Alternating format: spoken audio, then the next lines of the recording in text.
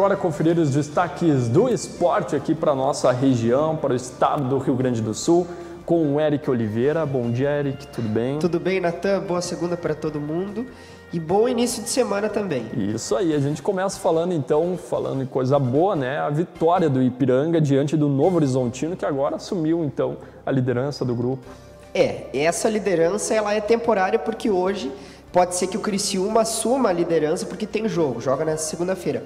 Porém, esse jogo que aconteceu na sexta-feira, uma belíssima, uma grande vitória, era um jogo que colocava, naquele momento, segundo e terceiro colocados na briga. Um jogo que valia seis pontos. E o Ipiranga, até um primeiro tempo nem tão emocionante assim, mas um segundo tempo muito interessante. O Ipiranga fez o fez o gol, acabou tomando, teve, teve várias vezes em que esse placar ser favorecendo o Ipiranga, o, o, o time do Novo Horizontino empatou, porém o Ipiranga venceu esse jogo por 3 a 2 um, mar, marcando de pênalti o Diego Quirino, o Sodré que tem se mostrado ser um jogador fundamental para esse time do técnico Júnior Rocha, ele que chega no Ipiranga no início desse Campeonato Brasileiro Série C e assume uma importante posição jogando no meio-campo e fez um jogo muito bom, bem como também o Quirino nesse jogo contra o Novo Horizontino. É bom lembrar que esse jogo então o Ipiranga pode perder nessa segunda-feira a liderança.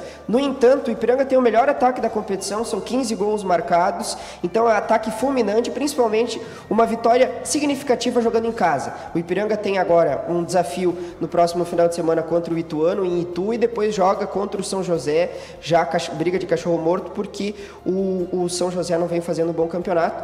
Porém, foi uma grande vitória, uma vitória belíssima do, do time do técnico Júnior Rocha, que serve para dar confiança no rumo à classificação. Nós estamos então já fechando esse primeiro turno, depois do retorno, o Ipiranga deve ter mais jogos fora de casa é bom começar e principalmente porque nós queremos essa liderança e estar brigando no topo da tabela. Tá certo. Já o Galo, o Atlântico, empatou com o Juventude de Mato Grosso. Eles jogaram, a partida foi no sábado à noite. Né? No sábado, isso aí. Jogo aqui, eu lembro até uma frase que o Alan falou quando esteve aqui no programa Virando o Jogo.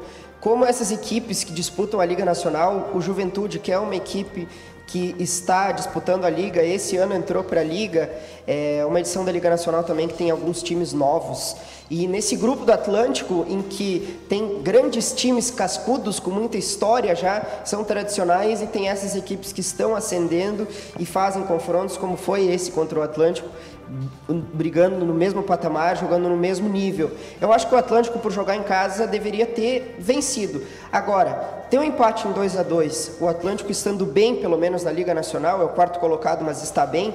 Isso analisando que o Cascavel vem uma campanha excepcional e, o, e a CBF, que no meu entendimento é uma das favoritas pelo título, o Atlântico está bem. Agora, se eu falei que o primeiro turno do Ipiranga já está quase acabando, o Atlântico já está no retorno e tem agora três ou dois jogos jogos, se não estou enganado, para terminar essa fase da LNF.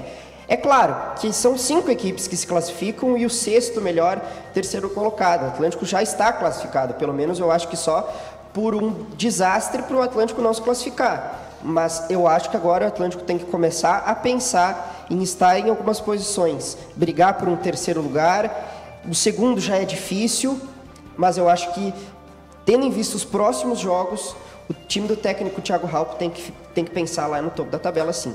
Está bem, vamos falar do Grenal, que era tão esperado, né, Eric? A gente não viu jogos.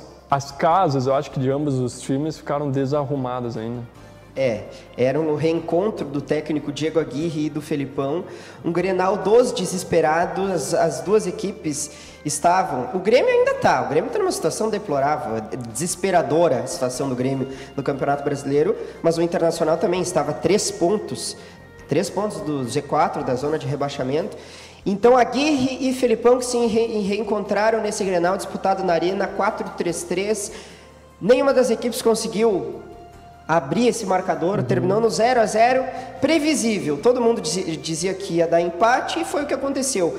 Porém, no entanto, entretanto, o Internacional foi superior. Nos 90 minutos, foi o Inter quem criou as, as principais chances de gol. O Grêmio teve olha, levou pouquíssimo perigo ao gol do goleiro Daniel e o Gabriel Chapecó, que assumiu a posição agora com o goleiro Breno, que está junto da seleção brasileira, ele e o Matheus Henrique, e o Gabriel Chapecó, que até era uma dúvida se o Grêmio ia buscar outro goleiro no mercado ou ia com o Gabriel Chapecó, que é cria da casa, e agora eu acho que ele tirou qualquer tipo de dúvida se ele deve ser ou não o titular do Grêmio, porque ele fez uma noite espetacular, salvou o que seria para o primeiro jogo da estreia do Felipão, uma derrota para o seu, seu arquirrival internacional, e o Gabriel Chapecó deve então pelo menos nesses próximos jogos com a ausência do Breno, ser o titular. Um Grenal que conta muito das duas equipes, o Aguirre e o Felipão mais ainda, que não deixaram vazar por nenhum instante a escalação das duas equipes.